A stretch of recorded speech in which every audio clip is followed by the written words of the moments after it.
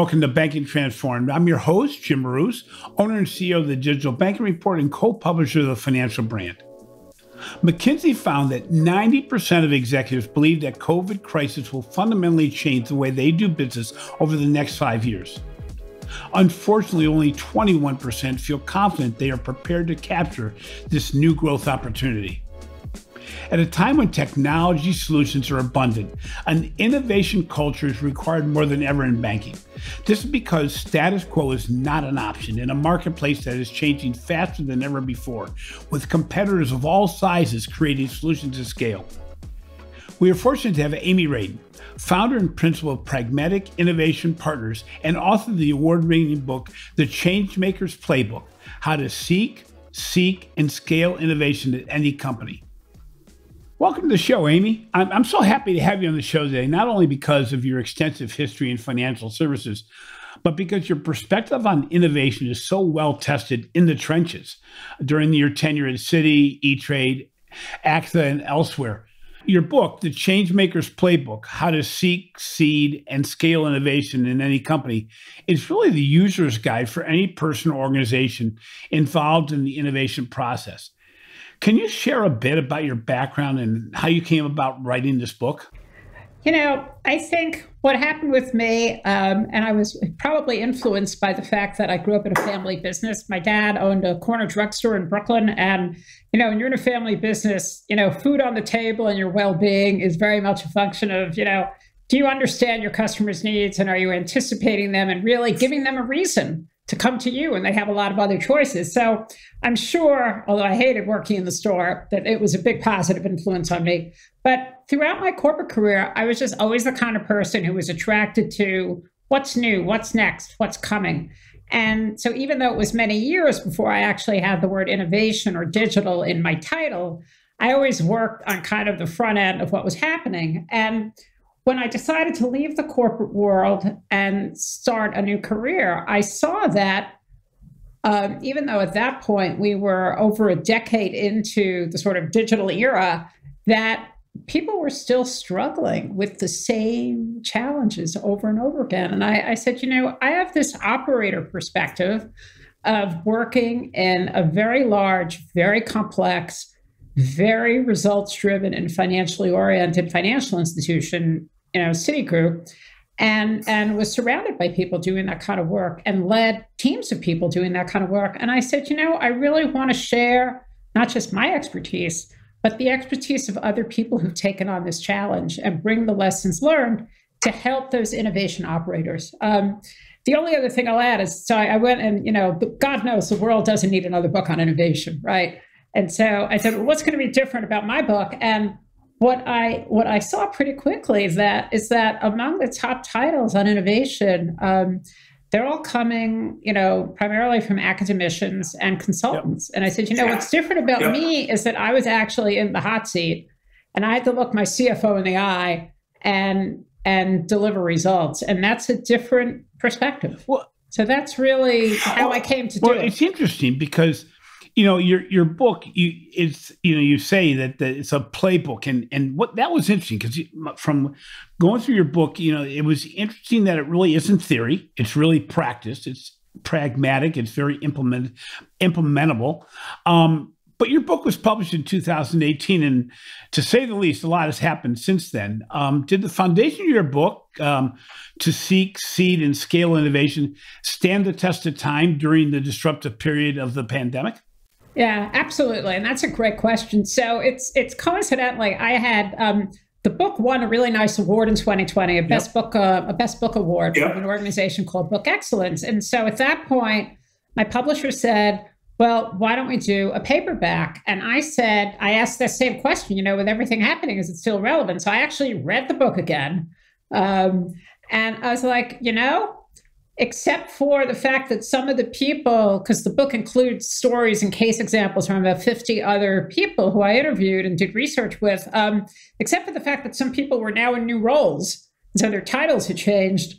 Um, the advice was not only still relevant, but it was intensely more right. relevant because the need right. to the need to engage, the need to build the right capabilities, the right culture, the right teams, um, the right methodologies to to get from an idea to something at scale that has value to customers and has commercial value has only intensified. Right. Yeah, and and and again, you your playbook was really how to do it into the really, as I said earlier, into the trenches, and and you know, as you said, that doesn't change. That's still very important. It, it doesn't change, and in fact, when I when I wrote the book, I had this vision. I guess being pretty practical person, I had this vision of the book being, you know, it would be on the shelf or in the Kindle, and it would be dog-eared, and my readers would be, you know, folding down the pages or sticking in the post-its, or they they'd run into a problem and they say, "Well, let me go back and see what what Amy would yeah. do." And um, yeah. and I meet readers today, and that's exactly what they're doing. So it's very it's very very gratifying but yeah, the needs have only intens- the needs have only intensified. So in financial services, many organizations are reassessing the perspective on innovation. Unfortunately, our research that we did for the digital bank report found that while financial services executives understood the importance of innovation, few know where to start or how to structure innovation in their organization. Where should a, a bank or credit union start? And I think a lot of times what stops people is they ask that question. They don't know where to start. So when you look at the whole issue, it seems so overwhelming. And you think about companies like Apple or Google or Netflix, and you go like, oh my God, how am I going to do that? I'm sitting in a bank um, where the, the standards and the understanding and the culture is so different. And, and it's funny, just last week, I was speaking with the COO of a, a pretty major North American bank. Um, and they have an ambition to innovate their customer experience, which obviously for banking is one of the most fertile grounds and one of the most important grounds for innovation.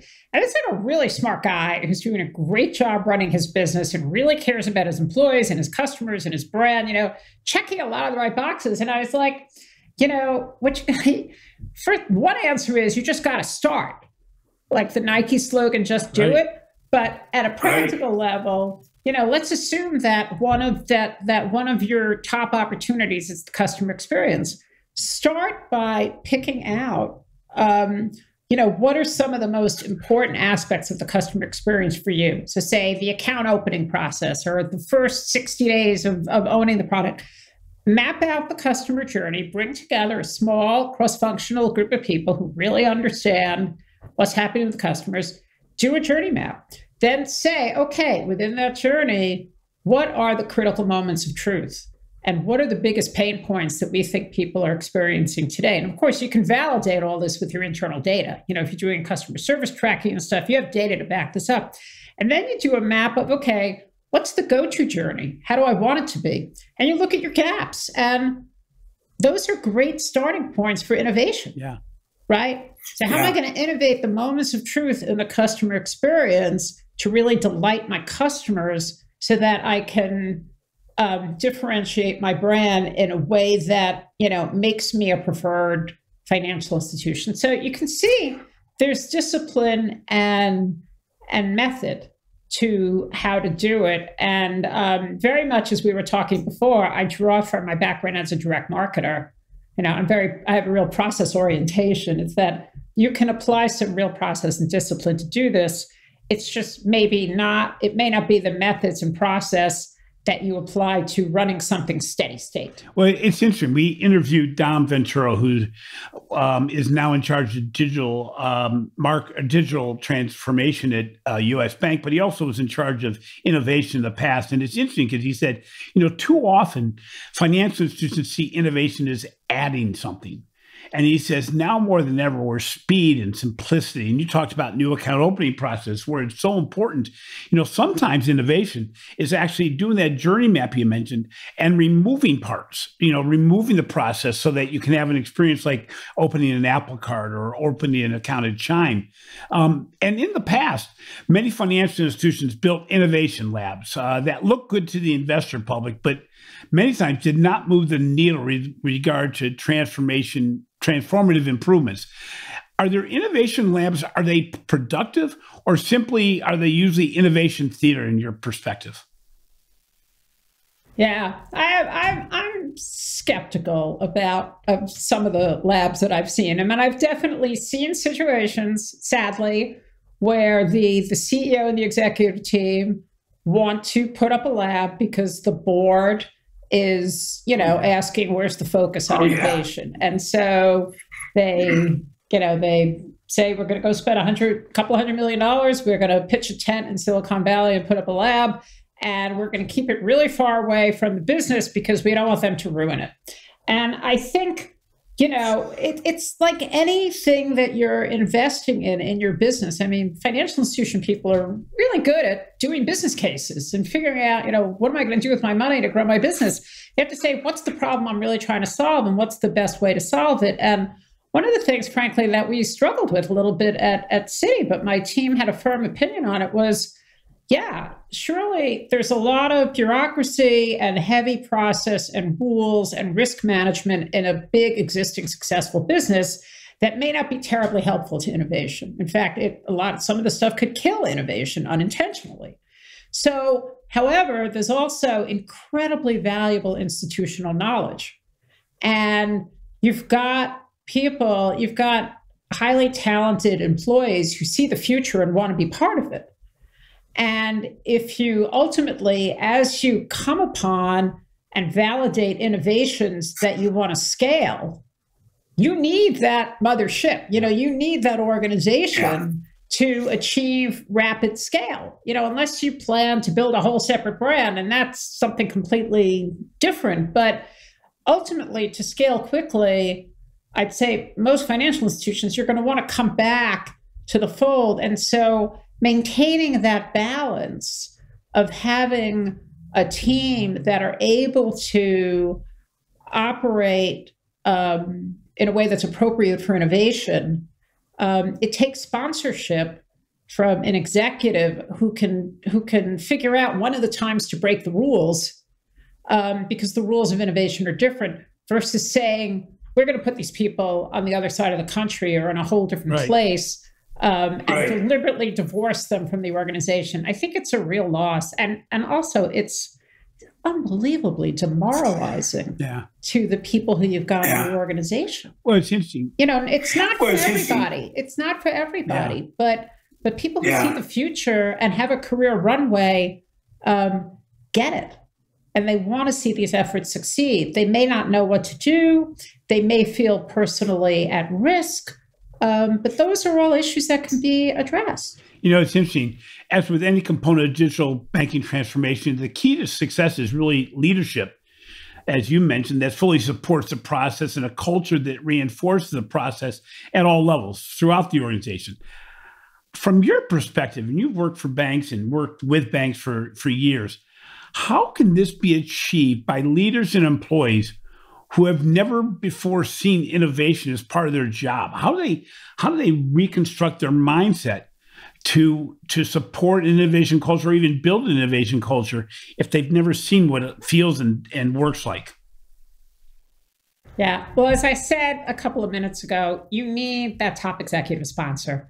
And we were very fortunate, in my team, particularly at Citi, that we had an incredibly tremendous sponsor in, in the CEO, the person who was CEO at the time of the credit card business, uh, who really saw the need to carve out the breathing room and the resources to really focus on innovation as a specific priority of the business. And I think if you don't have that at the top, at the very top of the house, it can be very difficult. However, that's that's a requirement, but that is not going to guarantee success because right. you still need to right. build uh, credibility with the teams around you. And I think one of the ways to do it is you've got to you've got to find ways to collaborate with the people, you know, with your colleagues and, and peers in the business and help them see their success in what you're trying to do.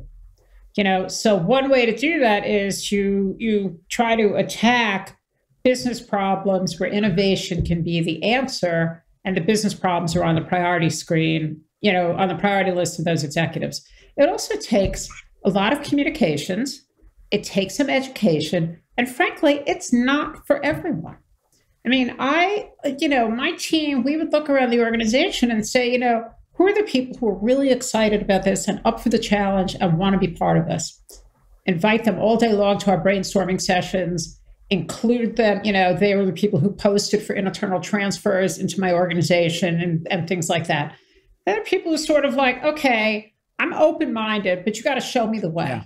Okay, you can clearly. Yeah. There, the, then there are people who say like, I don't, I don't believe it. We don't need to do this. We could just do more of what we're doing. And you know what? You're not going to win everybody over. That's the nature of change. So just work with the people who sort of are completely, wow, we want to go there. How fast can you help us? And the people who are open minded and and just don't even come with the agenda that you're going to convince everybody. I think that's really frustrating and it's not the best use of your energy. Now, now is, that the biggest, is that the biggest mistake organizations make when trying to implement changes, trying to force it? I mean, Or are there other mistakes that organizations make in trying to truly require the embracing of change? Mm-hmm. Yeah.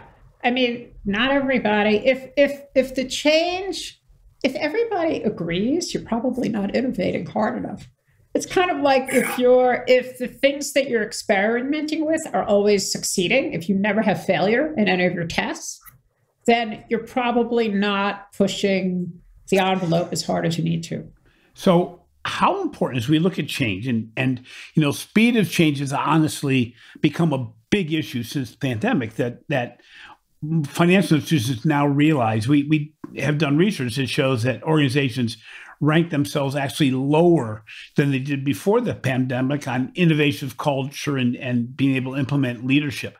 And what's interesting is one of the ways that organizations have done this is been partnering with solution providers or even fintech competitors to create innovative solutions.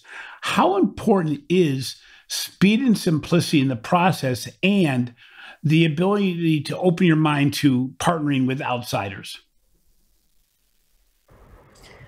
I think it's I think it's really useful. Um, you know, one of the things that I think has helped me in my career, and I think it's it's a it's a trait of change makers and people who enjoy this work, is being curious and externally and market focused. So, you know, when you're in a financial institution, you got you got a pretty full plate. You got a lot to do. It's very easy to just be absorbed heads down in what you have to deliver today and tomorrow and next week. Um, anything you can do to increase your focus on what's going on outside is very helpful. And that's where external relationships, external partners, bringing in, uh, you know, technology companies is incredibly um, important. But that, you know, that culture of curiosity where you're looking outside and looking beyond the obvious suspects. You know, one of the things that we used to do, we really liked, I was really encouraged by one of my innovation mentors to look outside my sector for ideas. Because if you're always looking in your own sector, yeah. you run the risk of just being a follower and a copycat, you know, and people move around from company to company. So it, it becomes kind of incestuous and very groupthink oriented. So you diminish the chance of being innovative. We were very interested for a while in what we could learn, for example, from the weight loss industry. And like, why is that? because people unfortunately manage their health and sometimes similarly to how they manage right. their money. You know, you have aspirations. Right. You know you should save for retirement. You know you shouldn't run a big balance at your credit card bill. You know you should lose 10 pounds. But you know, what happens? And so we we got really good learnings from, you know, looking within, you know, how do people manage their health and what does that suggest about innovations and how we can help people with their financial needs? So it's just having that anything you can do to increase your external view is um, really, really important source of ideas. You know, I, I, probably should have started this with this question. I think about it, but you know, when we define innovation, we look at innovation. You know, as as humans and as organizations, we sometimes think it's something new and exciting and way out there. Does innovation even have to be something that's brand new and disruptive?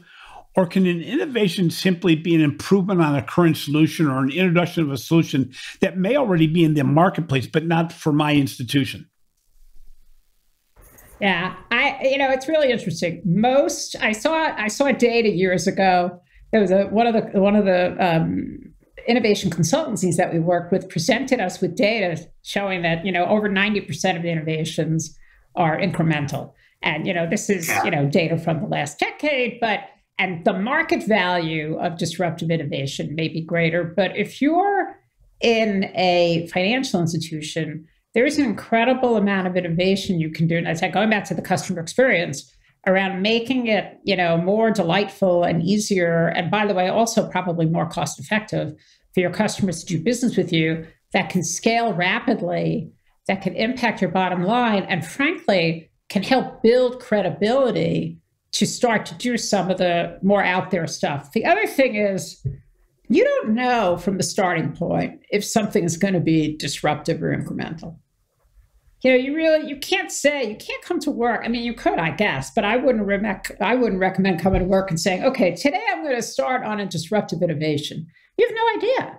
You have to say, "Today I'm going to solve a customer. I'm going to start working on solving a customer problem that I have reason to believe is significant to a large number of customers." So that if I'm able to solve this problem in a way that's differentiated in their eyes, I can impact uh, certain drivers of the business model. You know, it will attract more customers, it will deepen the relationships with my customers. And you know what? As you iterate and continue to build and grow and expand upon what you learn, it could become disruptive. Yeah. But yeah. you know, you can't label things from the get go. I think that that's uh, it's just not productive. So you, your background is pretty much the same as mine, um, with a long tenure in direct marketing. From your perspective, how does data analytics and modern technologies play into the innovation process overall? Well, I think that yeah, for me, and, and you know, as we were saying before, having having grown up, the first chapter one of my career was I spent uh, 14 years at American Express as a as a direct marketer. So first of all, world class company that even before customer experience was sort of a thing, the very, very customer focused company where everybody, everybody across all functions felt accountability for their impact on how customers were treated because we knew that that was what gave us um, premium pricing advantage and all kinds of benefits in the market. And um, I saw the connection between, um, you know, what does a direct marketer do? They work with large amounts of data and technology people to deliver personalized products and services and experiences and messaging to the audiences that they want to serve. And so when um, when companies started calling, you know, 20 years ago about, you know, all of these dot coms that was starting, I was like, like, wow, I have really transferable skills. And so when I, I was very fortunate to have the opportunity to go to Citi um, to lead the digital transformation in the very early days where it was really almost a white slate. Right. Um, right. The, the direct marketing skills translated very readily, and I I still think they do. It's got that discipline and process orientation and sort of structure, but also what's really great about it is that experimentation is engineered into business model. And that's so core to having an innovator's mindset and an innovation process is that you're constantly trying things, you're experimenting, you're testing and learning, and you see tests that don't work as learning opportunities, not as failures. You know, things that keep helping you move forward to the right answer. So it was a great, you know, who knew at the time? Uh, you know, I went to work for Amex because it's just a fabulous brand um, to do marketing right. and financial services. But it was fantastic um, foundation for the latter parts of my career. So let's take a short break here and we'll recognize the sponsors of the podcast. Is your organization trying to embrace digital banking transformation in 2021? Are you trying to elevate the customer experience? Figure out what technology you want to implement to improve the customer journey. Look at data analytics to really better understand and personalize the customer experience.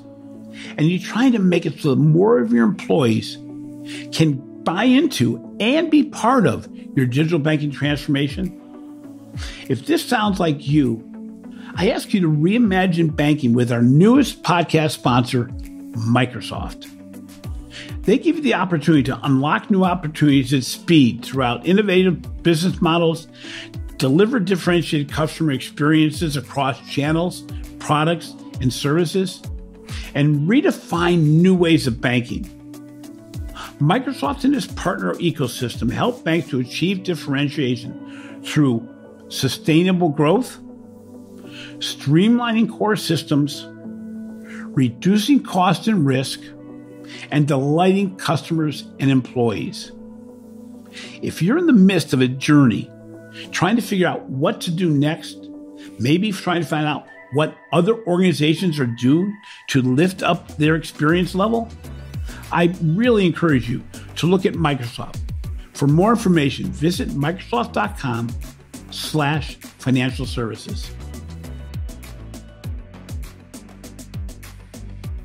Welcome back. I'm joined today by Amy Radin, founder and principal of Pragmatic Innovation Partners and author of the award winning book, The Changemaker's Playbook How to Seek, Seed, and Scale Innovation in Any Company. We've been discussing the importance of innovation in post crisis mode. So, Amy, your book talks about change makers, those who dream big and are also committed to the execution of ideas. Besides these broad definitions, what differentiates a change maker in your perspective? Yeah, well, there are a couple of things. Um, things that really come top to mind are, as as we already talked about, definitely curiosity. You know, you you are the you're the kind of person who asks the next question, like, "Why is it like that?" Um, as opposed to, "Oh, that's wrong." So you you see possibilities. Um, you solve problems by collaborating you know, this myth of the change maker or the innovator as a lone wolf, I think is really just that, um, you know, a myth. Um, you know, people hold Steve Jobs out there as a as as a lone wolf, but Steve Jobs surrounded himself with some pretty incredible people that that were essential to making Apple become the world's most valuable and most admired brand. Um, I think you you really want you see those possibilities and you want to execute to create the future and you're not held back by fear i think fear is one of the biggest derailers of innovation. And oh, yeah. don't get me wrong i have plenty of anxiety about you know some of the things that that we've tried over the years with the teams that i've that i've been part of. But you're able to sort of keep that anxiety in check. And you surround yourself with great people. So again this this spirit of collaboration and understanding that it really takes a village to make this stuff happen um, and i think at the end of the day you know you want to make a difference. You know it's interesting you talk you talk about those people that that can view things and and not be fearful. And uh, it's interesting because it's something you can grow into you know security and and confidence and things like this. And you know as many of us found out sometimes you're thrown into a fearful situation and come out live and you say oh, okay I can, I can handle this. I was probably afraid of something that that what wasn't as big of a deal as i thought it would be. So overall what is the biggest opportunity you see in the financial services industry coming out of the pandemic?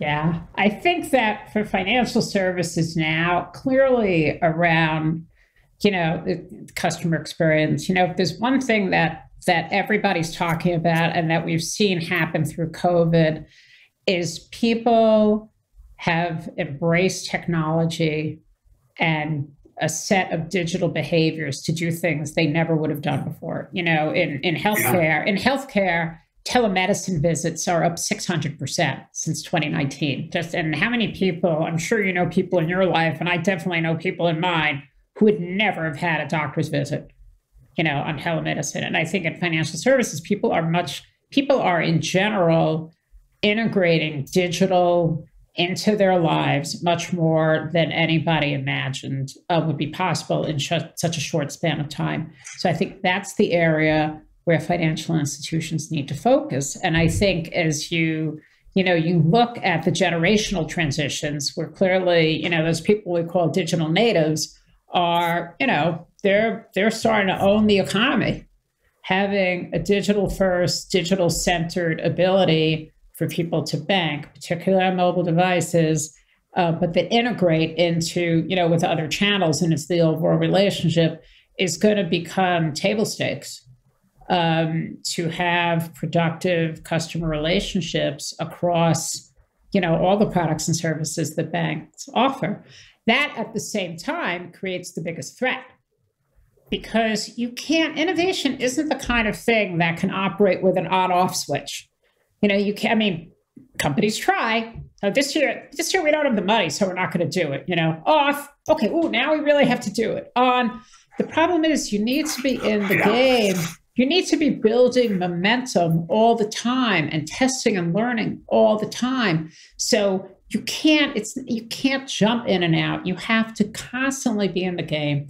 And so I think that's the risk for leadership teams that don't see that they will be caught flat footed. And because change is happening more and more rapidly, they will risk being left behind. So, finally, is being an innovation leader a function of asset size or ability to invest large sum of money in technology, analytics, human resource, and R&D? Or can any size organization differentiate through innovation?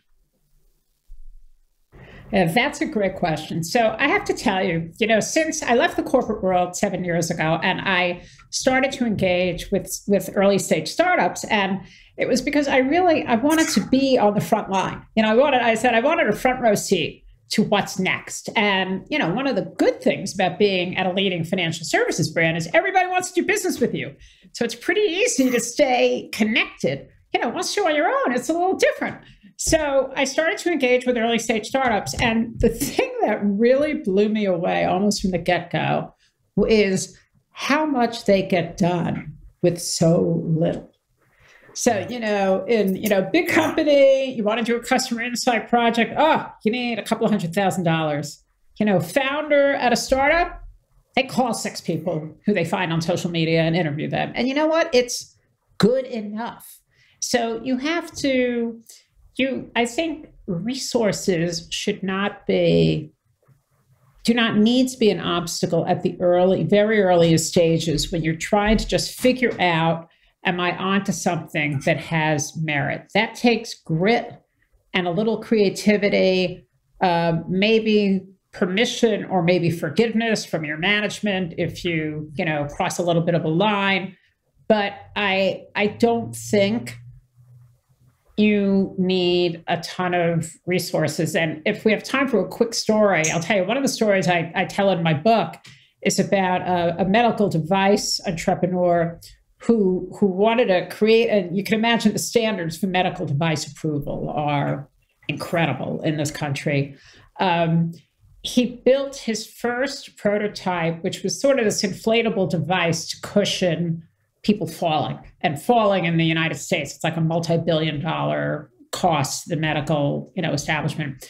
Um, his first prototype was built off um, inner tubes of tires from cars in a junkyard that he took to his tailor and had stitched up for a couple of bucks. And that initial prototype was enough of a proof of concept to get enough early stage, you know, angel seed money to get to a real prototype that eventually got him um, uh, an agreement to conduct a, a, legitimate experiment with a with a leading hospital.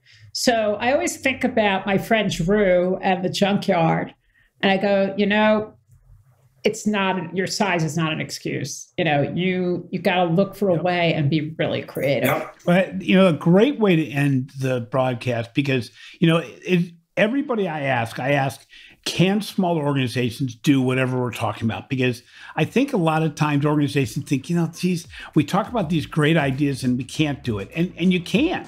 And the reality is success can be scaled. And, you know, still the, the dynamics of serving the community is still key for the smaller organizations. And that's in and of itself a way to get community involvement behind your innovation. So, Amy, thank you so much for being on the show today. You know, it's great to have you. Great to have you talk about your book. How do people get your book? Well, you can go to any of the you know online e-tailers, clearly Amazon, Barnes and Noble, everybody else. You can also visit my website, um, Amy, Amy at amyradin.com, or email me at amyradin.com if you want to sign up for my newsletter. But definitely, you can buy the book through any of the online um, e-tailers. And if any of your audience are issued uh, interested in a bulk purchase for their teams, you should just contact me directly because I can arrange that at a favorable price. Great, and thanks for being on the show today, Amy. Thank you so much for having me, Jim. It was really fun to talk to you.